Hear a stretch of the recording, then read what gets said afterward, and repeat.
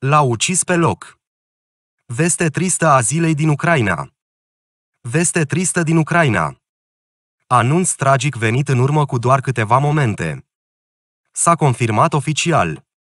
A fost ucis pe loc în timpul bombardamentelor și nimeni nu l-a mai putut salva. Anunț tragic din Ucraina. A fost ucis pe loc în timpul bombardamentelor.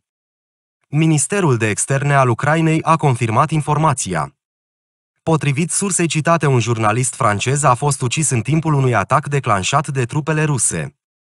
Acesta se afla într-un vehicul care trebuia să evacueze civili din zona de război de lângă Severodonetsk, care din păcate s-a aflat în aria bombardamentelor, transmite Reuters.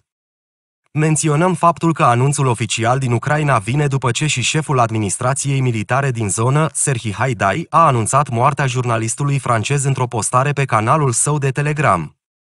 Totodată, oficialul ucrainean mai preciza și că operațiunea de evacuare a fost suspendată.